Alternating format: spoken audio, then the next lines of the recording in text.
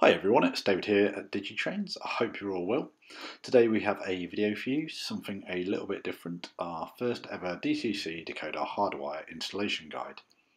John D from our workshop team has recently fitted a decoder and stay alive to this Hornby 040 Club Special loco and we thought this would make a great candidate for an install guide as the chassis, motor and pickups are very similar to the Hornby Smokey Joe and the Hornby Class 06. So parts wise for this installation, John used a Zimo MX617F decoder and a Lais DCC 860009 Stay Alive.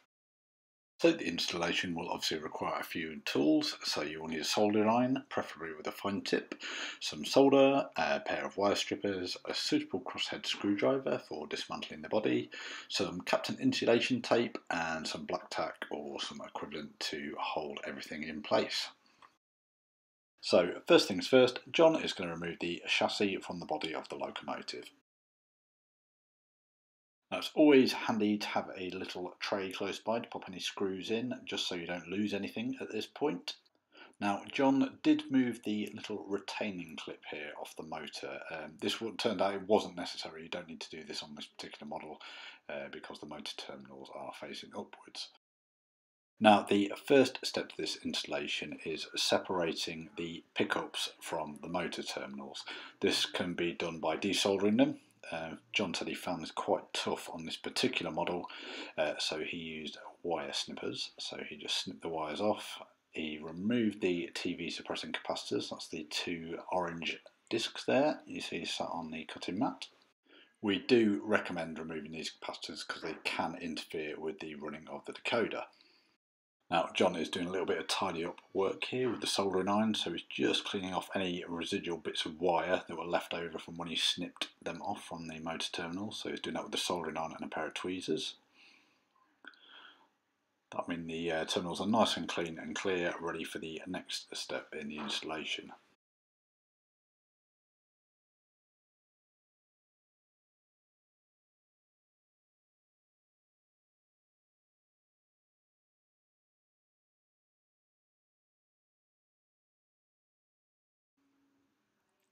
So once the terminals are all nice and clean, John is stripping the wire on the ends of the pickups, as so, and then he tins them with a little bit of solder to get them ready for the next step.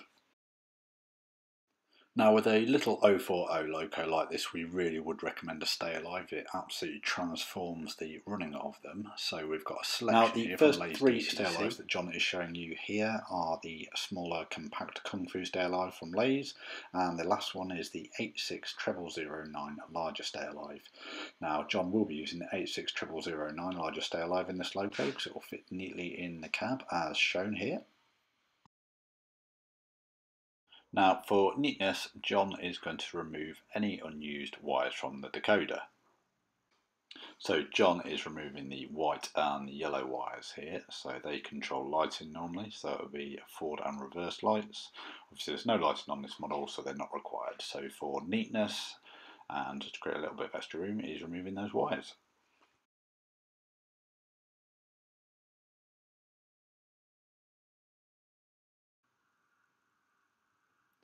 Now John has snipped the plug off the end of the decoder because this is a hardwire installation you won't be needing the plug obviously. And now he's just calculating the length of the wires that will be required for the installation. First off he's looking at the grey and the orange wires which will be attached to the motor terminals.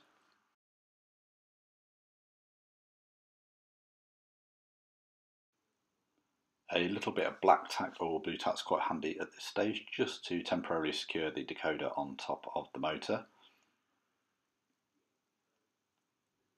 And here John is just snipping the wires to the desired length.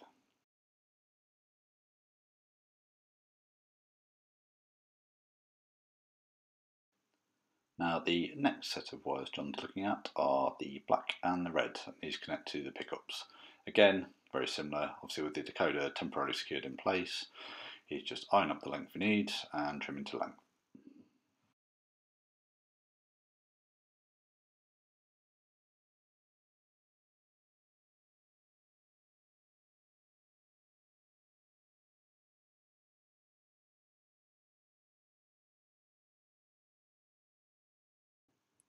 So in exactly the same fashion as the decoder, he's now going to be looking at the stay alive. So offering up the body there to the chassis and calculating how much wire he's going to need and he's going to snip that to the desired length.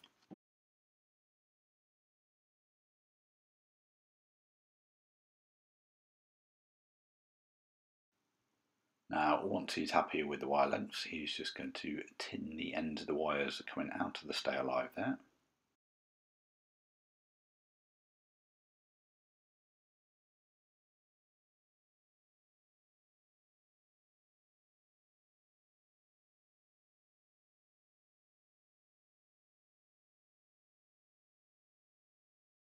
So once he's tinned the end of the wires, he's just going to nip a little bit more off, so he's probably got about a millimetre of exposed tinned wire.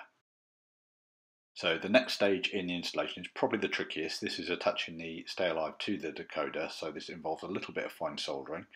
Um, so we're going to take the blue wire from the Stay Alive, which should attach to the common solder pad, and the black wire will attach to the ground solder pad, as you can see here on the diagram of the decoder, which is included in the instructions.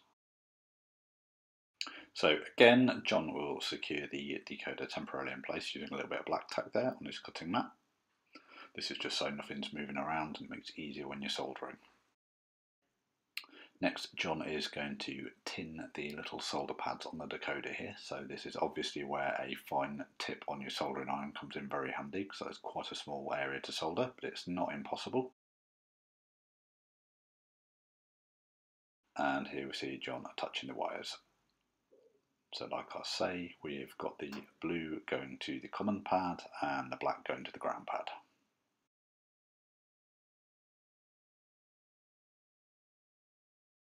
Now the next step is arguably one of the most important steps and that is insulating your decoder. So John is wrapping a little bit of Kapton tape around that. And this will prevent any shorts and prolong the life of your decoder so you can enjoy it for as long as possible.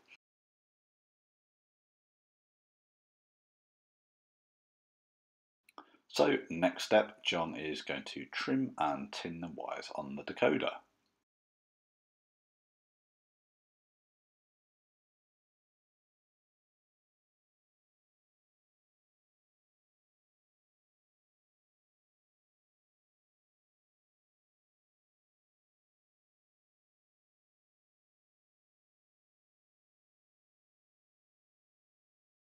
So once the decoder is all prepped and ready, John is going to take the orange and the grey wires from the decoder and solder them onto the motor terminals of the motor.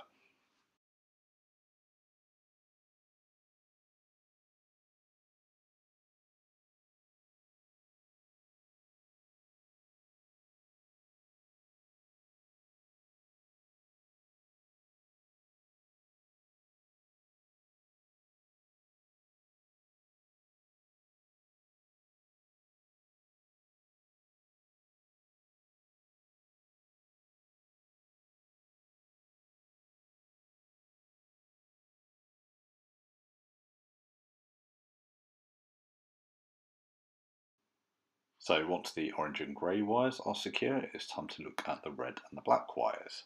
So these go to your pickups. So here John is attaching the red wire from the decoder to the right hand side pickup. So he's gently twisted the wire together there and just running a little bit of solder over it to attach it. And then he repeats the step using the black wire on the left hand side.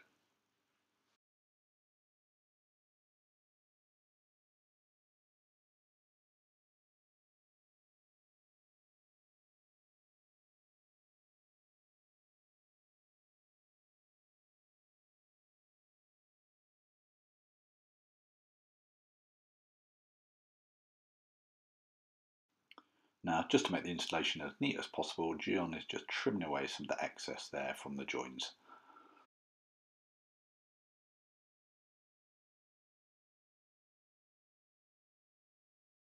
So here John is going to put a little bit of heat shrink around the exposed joins there. And this is obviously just to prevent any shorts again.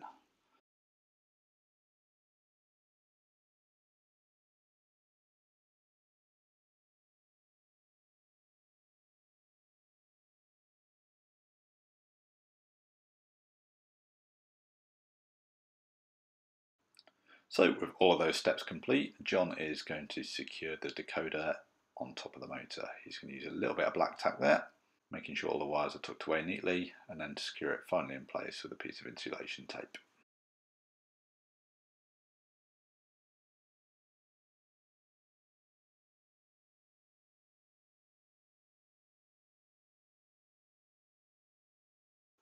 Next up, John is going to secure the stay alive within the cab. This is quite an easy job because it's a, a, a, reasonably snug fit. It just needs a little bit of black tack and that'll hold it in place. And then John is going to put the body back on the locomotive. So we're going to put it all back together. So once everything is back together and sitting neatly and flush, it's going to be time to give the locomotive a test. So here John is giving the loco a test. So obviously it'll be a factory default address number three. He's giving it a run back and forwards there and now he is demonstrating the amazing power of this Lais DCC Stay Alive. So believe it or not this video is actually sped up but once he removed it from the track the loco kept running for 1 minute and 55 seconds.